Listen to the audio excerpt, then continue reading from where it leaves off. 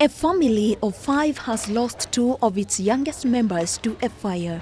The fire that started at about 12:30 p.m. on Tuesday quickly consumed a house where a mother of three had locked the children and gone for about a 30 minutes. lakini ni kitu nilisikia imeripuka. Nilikuwa nafua, nikasimama kuangalia, nikaona moshi pande.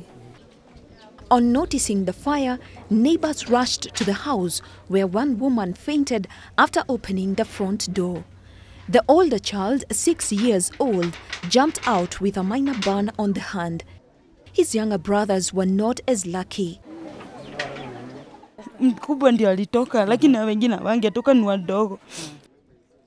Neighbors battled the raging fire, and when it was put out, the children, two years old and six months old, were reduced to small mounds.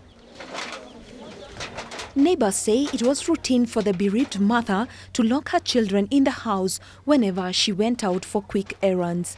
Aliita huyu mkubwa tulikuwa naye huku mbele, akamuita, kumbe alimuita amwachie hawa watoto wengine juu niliona tu akienda, lakini nikafikiria ameenda hapa karibu, juu nilimwona kwanza alisimama na mwanaume mwingine, sijui aliongea nini, nikaona ameenda. Saa mi nilikuwa nafikiria ako tu karibu, ameenda tu karibu, ameru mm. It is not known what caused the fire, but residents say it could have been a gas leak.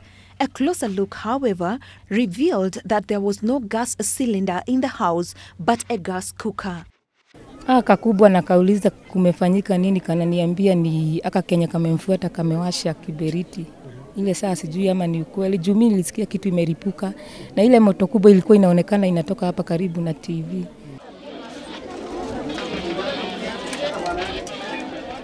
The bodies of the children which were burnt beyond recognition were taken to the city mortuary. Caroline Moora, GBS News.